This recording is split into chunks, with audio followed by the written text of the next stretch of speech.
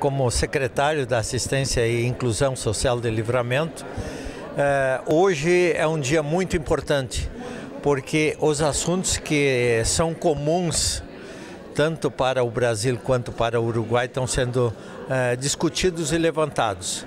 Levantados por quê? Porque muitas vezes a gente se depara com as mesmas dificuldades. E o momento que a gente tiver essa integração e a solução é, a nível é, de consulados, a nível departamental e a nível legal, com certeza o nosso trabalho, tanto na assistência social de livramento quanto na atividade da assistência social do Uruguai vão facilitar, vão fluir e nós vamos ter um resultado positivo em cima das necessidades que nós temos que demandar em cima daquela atividade que é desenvolvida no dia a dia. Como viene sendo estes primeiros dias eh, como secretário para esta prefeitura, para Santana do Livramento? Como viene sendo a jornada de trabalho? A jornada é muito gratificante porque eu venho justamente dessa área social. Eu fazem 15 anos que eu labuto nessa área social, eh, mais como voluntariado quanto a, a função em si. Esse convite me, me gratifica muito porque o que, que a gente busca?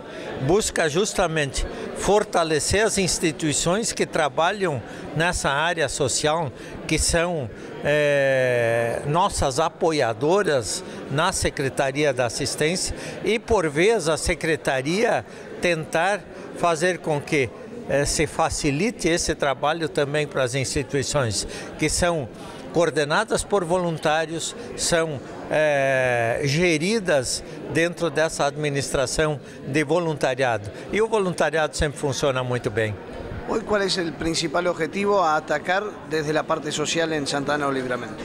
É justamente é, apoiar as famílias é, de extrema pobreza nós estamos fazendo um levantamento geral de todas as famílias que ainda não estão incluídas num programa social que a, eh, que a assistência social do município trabalha em cima da inclusão daqueles programas para que a família seja atendida, obrigatoriamente deve estar inscrito em um daqueles programas, ou Bolsa Família, ou NIS, ou enfim, é, todo aquele programa que, de uma forma ou de outra, lhe dê o direito de receber e ser assistido. Há muitas famílias nessas condições?